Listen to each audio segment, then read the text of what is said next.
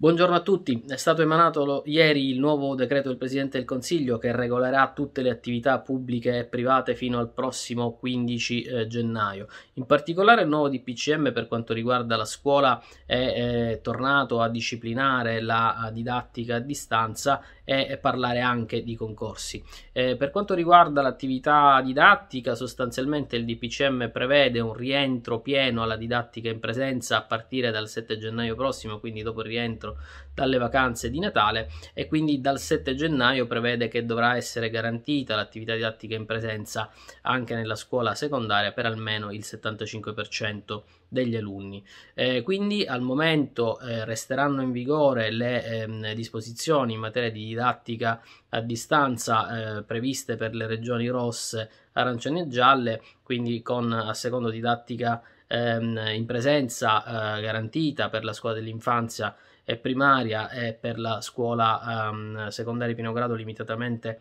alle prime classi per le regioni rosse, mentre ehm, per quanto riguarda le regioni arancioni e le regioni gialle è didattica a distanza eh, soltanto per la scuola secondaria di secondo grado.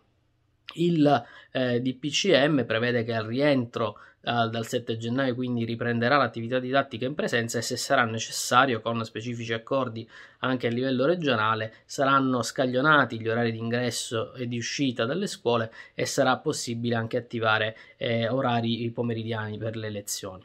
Eh, per quanto riguarda invece i concorsi è stata, prorogata la pro- è stata prorogata la sospensione di tutte le procedure concorsuali pubbliche e private, fatta eccezione eh, di quelle eh, che riguardano la semplice valutazione eh, dei titoli o le procedure che prevedono una eh, valutazione eh, in via um, telematica, sostanzialmente a distanza. E naturalmente restano validi ancora e in corso i concorsi in materia sanitaria e in materia di personale di protezione civile. La, la, proroga della sospensione riguarda anche eh, ovviamente il concorso straordinario di scuola secondaria che era stato sospeso col precedente DPCM del 3 novembre e che, salvo ulteriori proroghe, resterà ancora sospeso fino al prossimo 15 gennaio. Grazie e arrivederci.